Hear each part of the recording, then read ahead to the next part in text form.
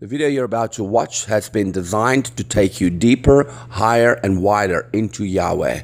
Enjoy and please subscribe. Thank you.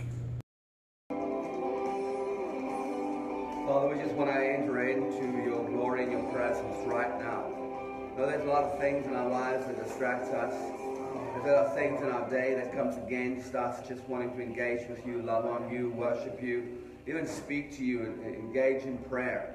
But Father, we come together on a Friday, um, not to a conference, not to get laid, hands laid on, not to get prayed over, not to get prophesied to, but to be taught and trained and equipped, Father, by your direct voice as I speak like an oracle, Father, through your glory and your fire.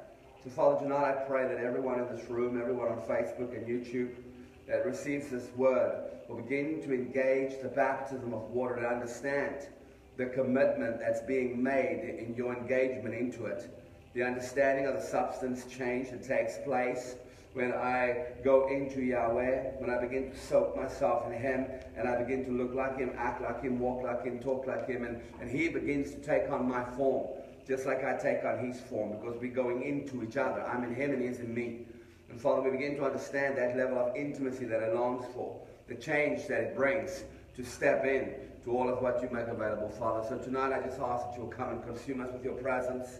Take everyone in this room to a deeper place, higher, wider, deeper into you so we can see you, touch you, and walk with you in everything that you've made available to us, Father.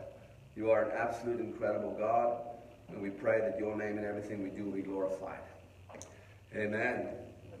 Okay, so we've been, uh, over the last couple of weeks, I say the last couple of weeks, so this will be week six since we started but only week three for this school because it's every other week.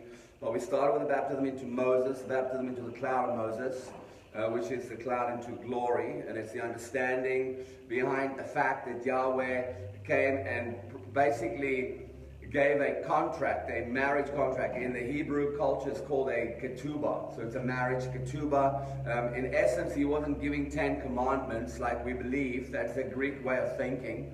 As a matter of fact, it's a slave's way of thinking because that's all the, the, the, the Hebrews knew. They didn't understand anything else. They just knew how to be slaves, and that was 400 years. And so it was generation after generation that was conditioned to know and understand only how to be a slave. Now this awesome God comes in, wants to bless them, increase them, sets them free, sends them into a promised land where there's milk and honey, literally. Um, the, the, the, grapes and the fruit and the stuff growing in this land is just incredible. And he wants to marry them. Now, of course, he doesn't want to put a ring on their finger and say, come, marry me so I can be your husband and you can be my wife. He's really proposing a covenant of intimacy with a people that he loves. And we begin to understand that that, that, that desire the Father had with the Israelites was rejected by them because they were afraid of him. Um, then we go on to baptism into Holy Spirit and fire. That's what we did last time we were here. And really, that was just to understand the, the idea behind the reason we get baptized with fire. Fire always represents purity, cleansing, but it also takes us on a journey of receiving and walking in revelation regarding who Yahweh is. And baptism, the word in itself means, in the Greek, is baptizo, which means to go into.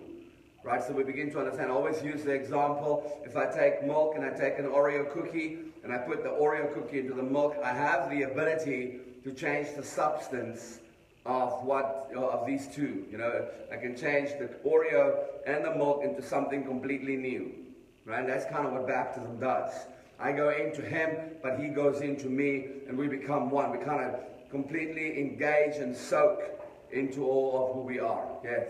Is that kind of like how Moses went and hung out with God for 40 years?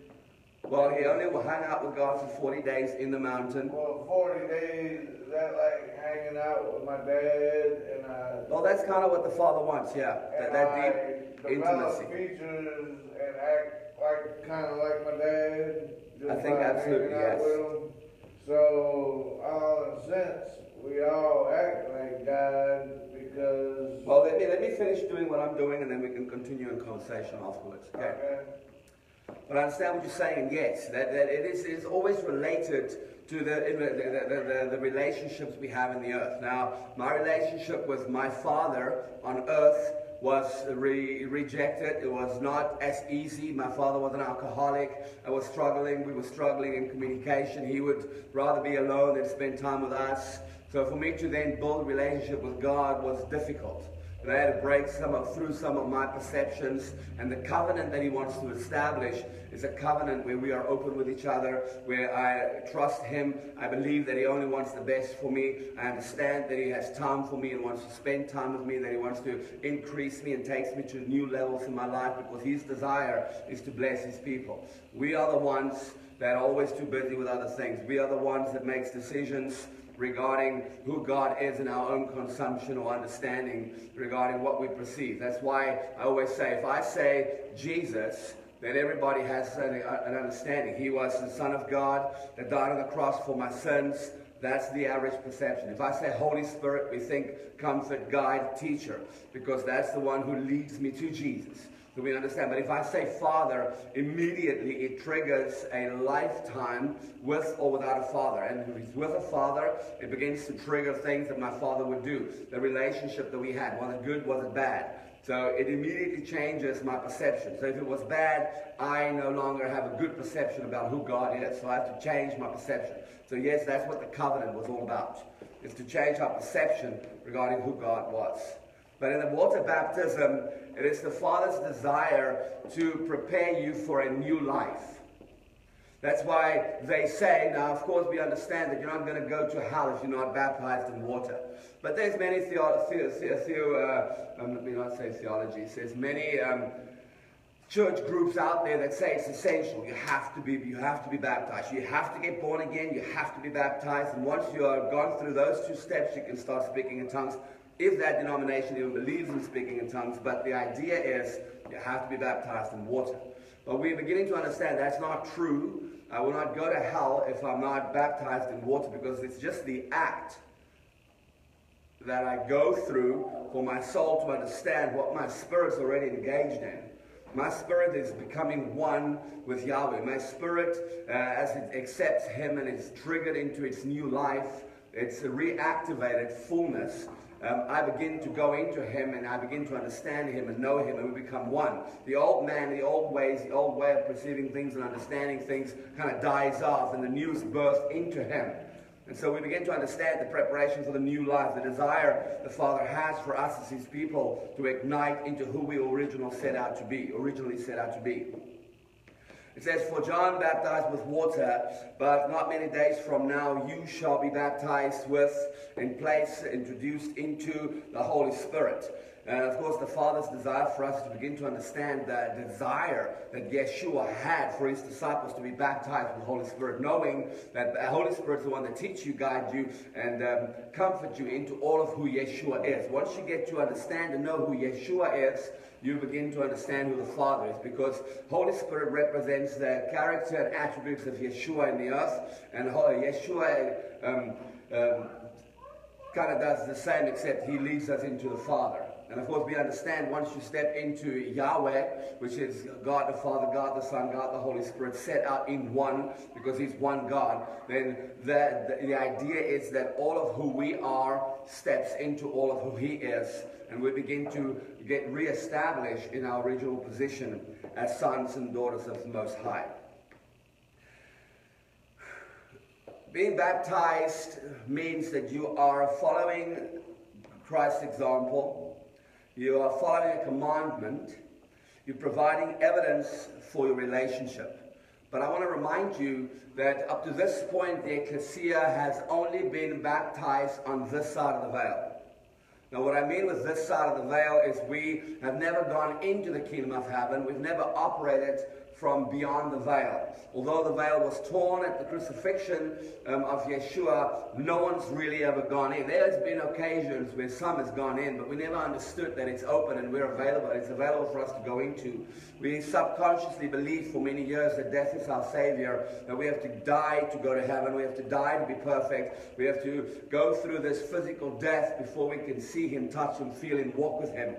But nowadays we're beginning to understand that we are seated in Christ in heavenly places places. The fact is, we're already where He is, and if we begin to uh, develop our eyes, our spiritual eyes, we can see Him, walk with Him, and get to know Him at a higher level, another dimension of truth higher than where we're at now. That is operating beyond the veil. So if I look at the baptism on this side of the veil, then it is following Christ's example. He was baptized, but he wasn't baptized because he was special.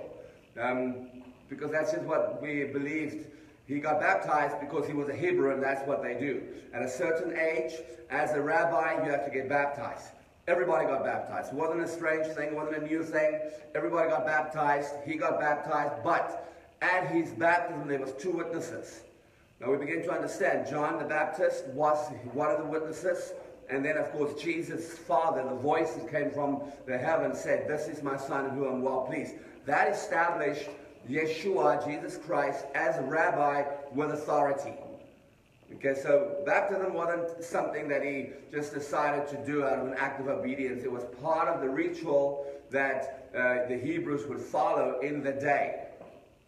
Okay, uh, John came out of the wilderness and he did the baptism of repentance, making people shift the way they think from one perception of who God is to another. And of course, forgiving of sins.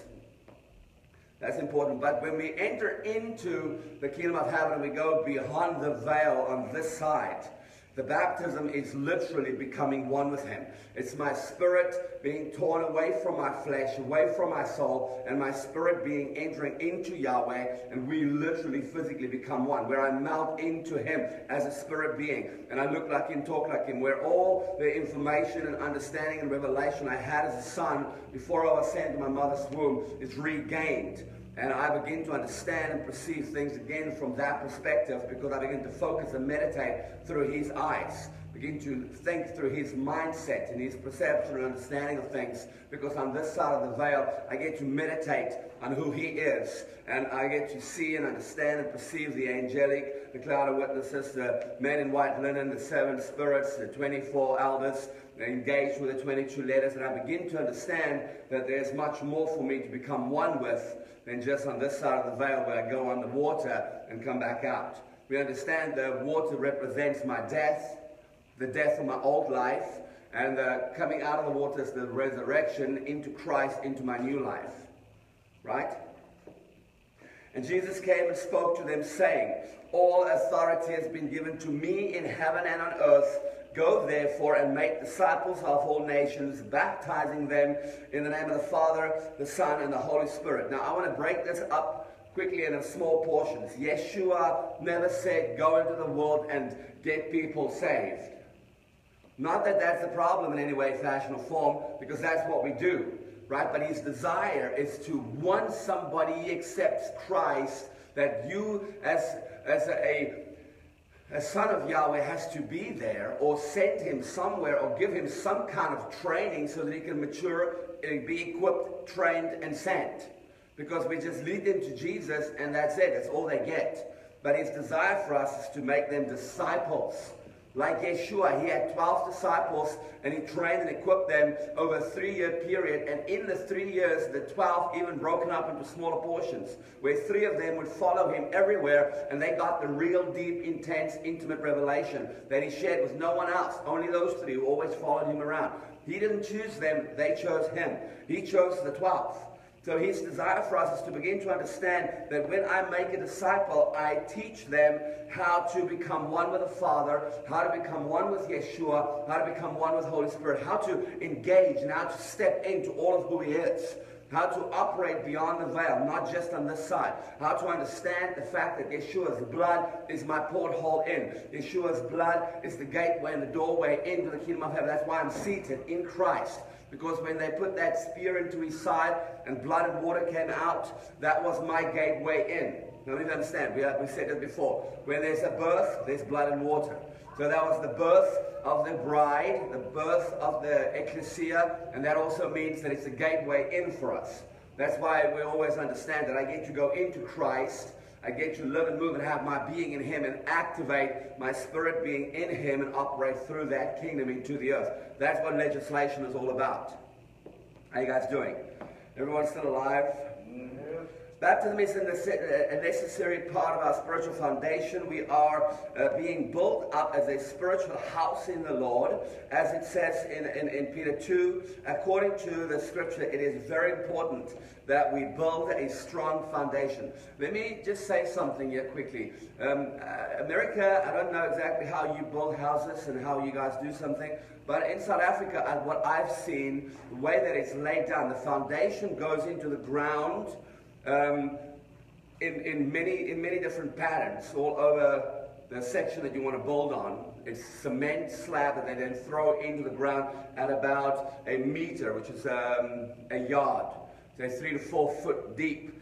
And that is then set with uh, some bricks that goes into the ground. It's literally tunnels built into the ground. The foundation is massive. Um, we don't have floodings like you do. We don't use sheetrock and um, material for building houses that you do here in America. We use bricks and cement. Um, of course, there's some steel uh, frames that we use as well, like you do. Um, the the, the uh, roofs are, it's, it's, just a much, much stronger foundational way of building a house. But the idea is that before you do anything, a matter of fact, you can't start building a house unless the government has accepted your plans, your foundation is right, the walls and everything that you want to build, the place, the way you want to set out the house is going to work according to how the foundation is laid out and set up. And then after the foundation is laid, only then can you build a house.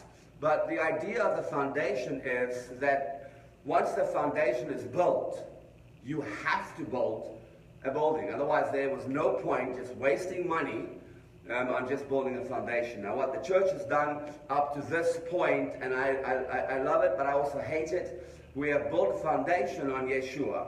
So Jesus Christ is our foundation, and we have this massive foundation laid out. You can talk to anybody at any church, they know who Jesus Christ is. they know that he died for our sins on the cross. That was the foundation. That's basically where the church is at. There's nothing being built on the foundation. The Father's desire for us is to understand that once the strong foundation is built, what needs to happen is we need to build upon that foundation. So once we have laid the foundation of who Christ is, we need to begin to build upon who he really is. the foundation is just the basic things he did. He came to die for our sins, but how many of you understand? That's the, the basic foundation of the fact that he came. He didn't come only to die for my sins. He came to bring me restoration. we begin to understand that restoration is a whole deeper place, a whole new dimension of revelation, because it's not just about my salvation, it's not just about me not going to hell anymore. Sorry. It's about who I am as a son. It's about the fact that the Father's desire for me is to live in the kingdom of heaven, to operate fully as a spirit, a soul, and a body, consumed in Christ in all the different realms and kingdoms that's available. Up to this point, according to the Bible, we understand there's a kingdom of earth, and we have dominion over it. We understand there's a kingdom of God on the inside of me, which we have to give dominion to God for. He has to have full dominion over the kingdom of God inside of us. And then, of course, the kingdom of heaven, which He wants us to co rule with Him which is in the kingdom of heaven, which is called the third heaven.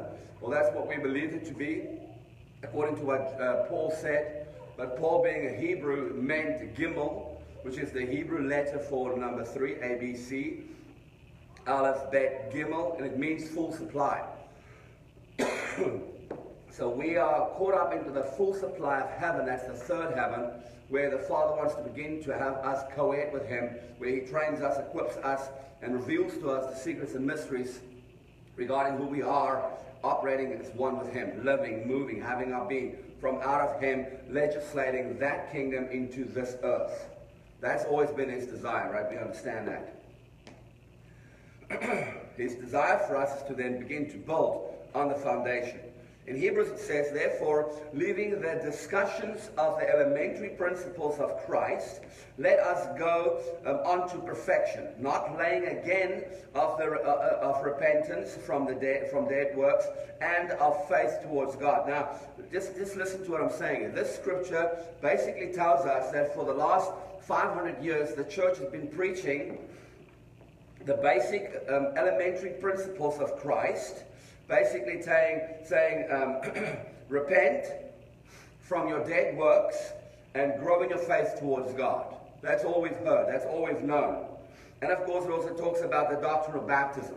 That's the basics. That's the foundation that's been laid. How many of you have been in church? That's what the church has been preaching for the last 500 years. He's saying that's elementary stuff. Let's move on from this. Let's take what we're doing tonight, the baptisms, get it over with, and let's move on to deeper, more intimate things. The Father wants to reveal a deeper intimacy for us and with us. It is basic biblical doctrine. We can't, we can't go on to maturity until we have experienced these things as it says in verse 3.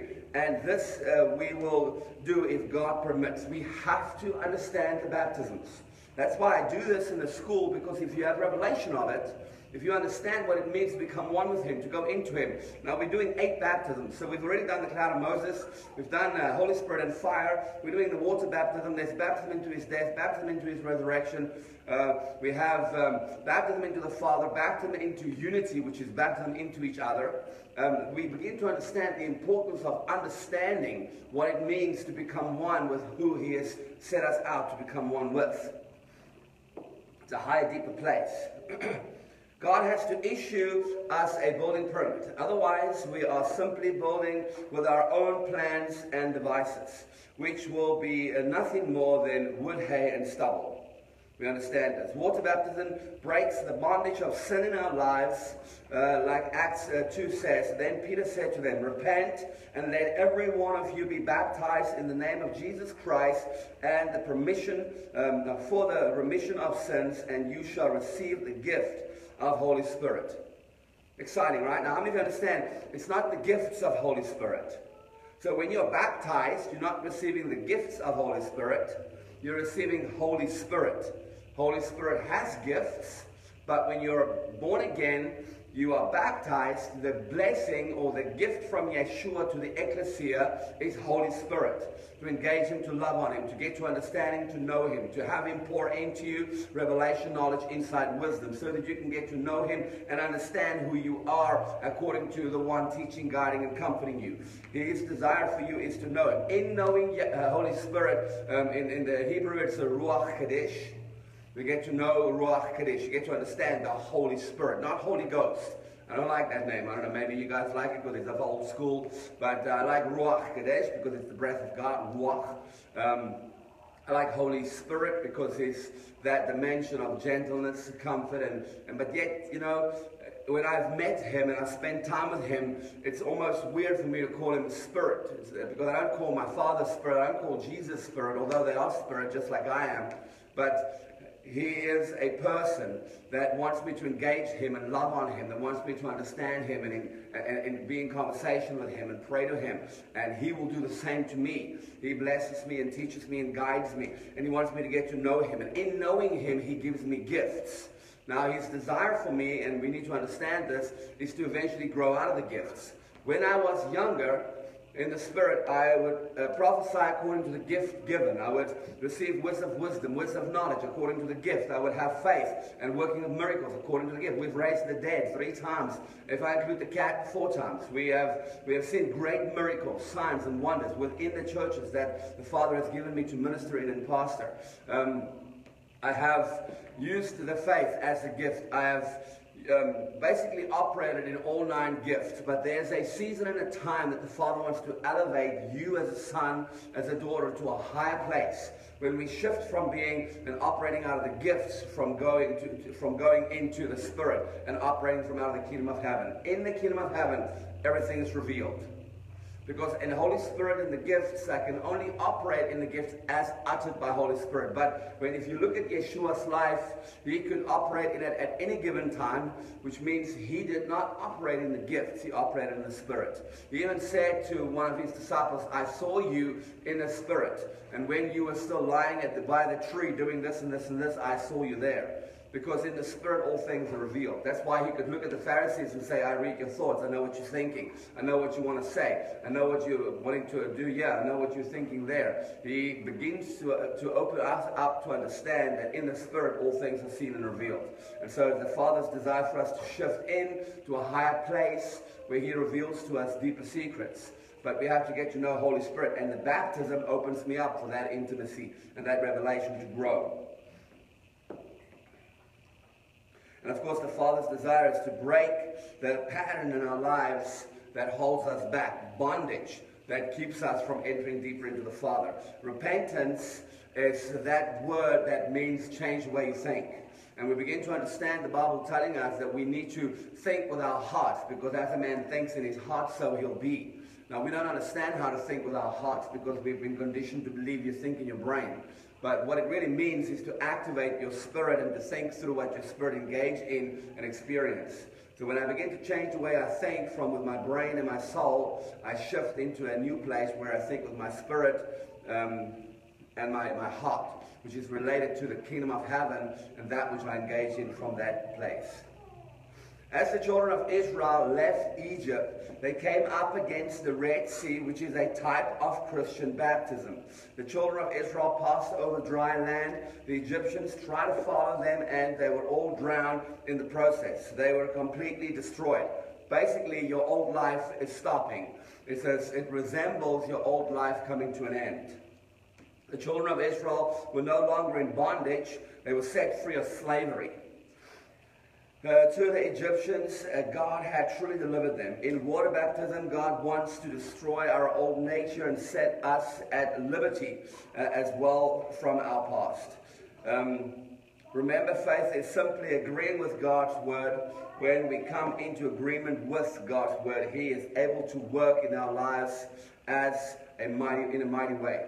Just understanding that it is still an act of faith.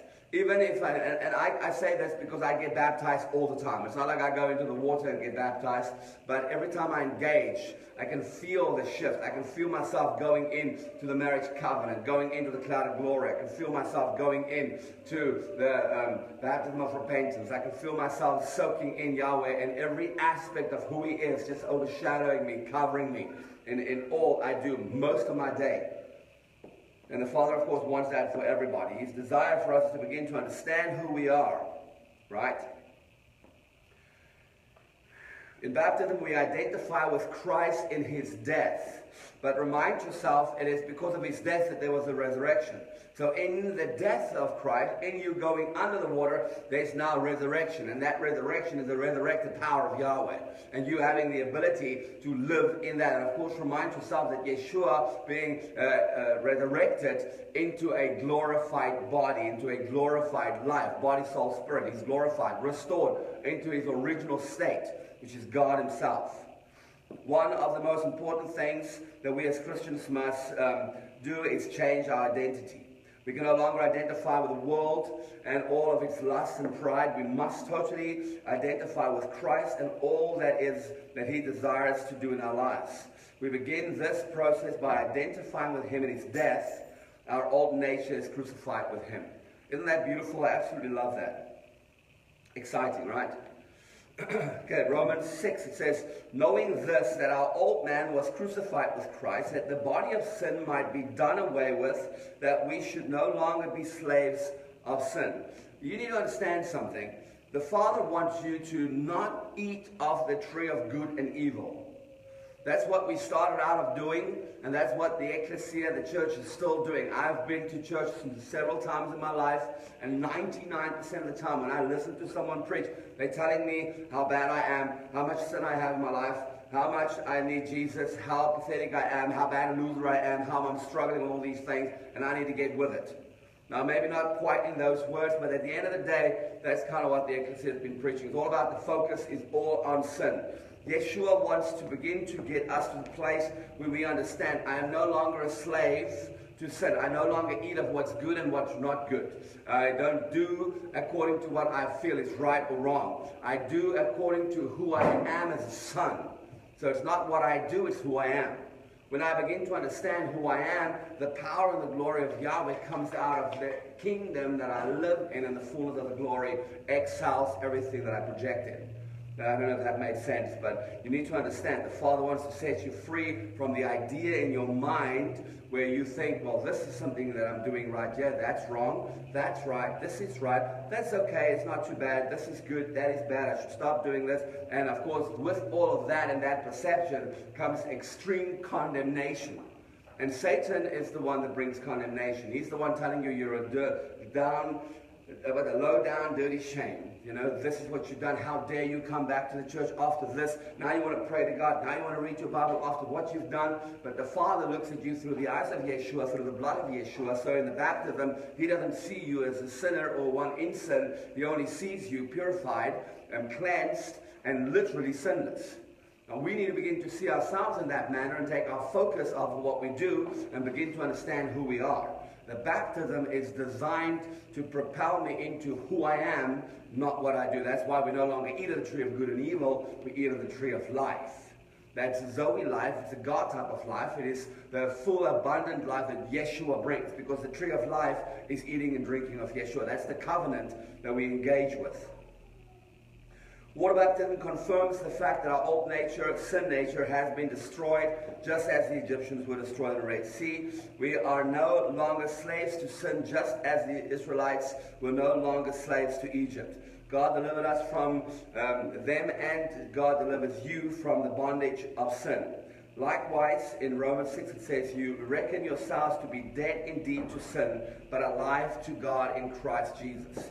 Now, that, that brings you to the understanding alive to Christ. That every part of your life has to fall into alignment. Now, alignment is basically if I have body, well, if I have my spirit, well, let's see, if I have my body, my soul, and my spirit, and my spirit is to overshadow my soul and my body, well, the most people it's not. So most people is body, soul, and spirit in the middle, where it's supposed to be spirit on the outside, soul in the, in the middle with the body on the inside of the soul. Just understanding this. Um, and in each of them, there's gates that's meant to align up. If I have a um, locker that has a, a, a, digital code, you know, is not what I'm talking about? I have to turn it three times to the left, so it aligns on the side, then two times to the right, so it aligns, then maybe three times to the right again, and then once to the left. Then all the slots is aligned and it pops open. The idea of baptism and what the Father wants to bring us to understand here is that's exactly what needs to happen. Body needs to be aligned according to who you are as a son of Yahweh. Soul has to be re, recon, con, con, uh, reconditioned, re-established to who it's supposed to be, aligned. And the same with your spirit. Your spirit has to be reactivated. That's why we have to get born again. The reactivation aligns all. That's why we're righteous, in right standing with God. And then everything gets poured in, and life begins to shift into place, and things begins to change. That's the Father's desire. That's why Galatians 2.20 says, I have been crucified with Christ. It's no longer I who live, but Christ who lives in me. The life which I now live, I live in the flesh um, I live by faith in the Son of God. Some translation says by, this, by the faith of the Son. And that's, of course, the difference between being the bride and being the body. The bride lives according to her faith. The body lives according to his faith. It's a shift. It's a higher dimension of truth. One is at a lower place on this side of the veil. The other one's at a deeper place on that side of the veil. We'll get into greater detail regarding that. Um, live in the flesh. I live by faith in the Son of God who loved me and gave himself for me. Water baptism is that new nature that comes forth. I'm almost done, guys. I'm going to give it another maybe five or ten minutes, and then we can close in prayer. I know we started late, but we, I've already started a half an hour ago. Okay, but just as Christ was raised from the dead by, by the glory of the Father, even so we should walk in newness of life. The Father's desire in the baptism of water is so that you can begin to live out of His glory, out of His presence, and bring all of that that you carry in your spirit being into the earth and open up. That's why creation waits for the ecclesia, so that we can establish the glory of Yahweh that's in us in the earth. That's why He created us in our image. And we are reminded, in His image, we're reminded that we are the only creation out of every galaxy, every universe that is created in His image. Are there other created beings out there? I'm not going to say there isn't because it's an infinite God that can do what he wants. We've already got established that just according to the Bible, we've got men in white linen, we've got saints of old, we've got the 22 letters, the 24 elders, we've got cherubim, seraphim, we've got um, the four living creatures, we have the seven spirits. There's just too many created beings for us to just believe there's nothing else out there. there. We've got all these demonic entities and powers and principalities and rulers. We've got giants and dragons. There's just so much, but we are the only ones created in his image. We are the ones that all of creation is waiting for to mature. So we need to mature, not manure. There's enough manure. We need to mature. That's why we need to rise above and begin to see what the Father sees. For if we have been united together in the likeness of his death, certain, certainly we also have to be in the likeness of his resurrection. We experience circumcision of the heart in the Old Testament. God established circumcision uh, to be an outward work which signifies a change of heart and a new covenant relationship between the Israelites and himself. We understand that. In the New Testament, water baptism um, parallels this and is required for all of God's people. Circum- circumcision had to be done physically. You can't be circumcised in the spirit. Well, you can, but that wasn't the idea. The Old Testament, you had to physically get the foreskin chopped off. It was part of a covenant, new relationship, a dimension of trust that you'd go into. In, this, in, the, in the New Testament, it's a different place. But the Father's desire for us is to begin to understand that He has a covenant of relationship established with everybody through the blood of Yeshua. So it's available and open, and His desire for all is to engage as hard as possible. In Him, this is in uh, Galatians 2, in Him you were also circumcised with the circumcision made without hands, by putting off the body of the sin of the flesh, by the circumcision of Christ buried with him in baptism, in which you also were raised with him through faith in the working of God who raised him from the dead. A dimension of the Father's glory is to erect you into your new life. Now, when I say new life, it means Zoe life, a God type of life, a life where you are um, on top of the mountain, where you are the head, not the tail, where you are co-ed with Yahweh. You look at Him because He looks at you. You speak to Him because He speaks to you. You are one with Him because He's one with you. You know Him because He knows you. You love Him because He loves you. And we begin to understand the relationship that He desires and longs for. That's exciting, right? Let's stand. Thank you, Father. We love you, we praise you, we thank you that we can be baptized into you baptizo. We can become one with you. We can begin to walk with you and understand you. But not just that, we can go into you. We can perceive you from a different light, different perspective. Father, tonight, I pray that everyone in this room will begin to engage you in their week with new heights, new levels. We'll begin to understand what it means to be baptized into you, and that you will not just cover and overshadow everyone in this room, but you'll begin to engage with revelation, wisdom, knowledge. Father, open us up, align our lives, stop the things that blocks us, Father. We have authority over every demonic entity, every power, every principality that comes against us, brings us sickness and disease. Father, we need to speak the life. And so I encourage everyone in this room to speak the power of Yahweh into place as you begin to understand who you are, a son a son in his kingdom, a son of Yahweh. And when the son speaks out of the maturity that he has, everything has to align. So, Father, we ask that you will propel your people to a new level, deeper, higher, wider into you. I ask a blessing. I ask for favor in their lives. Father, in this week, let's begin to realize who we are and walk in a higher, deeper place with you. Father, we love you. We praise you in the name of Yeshua. Amen.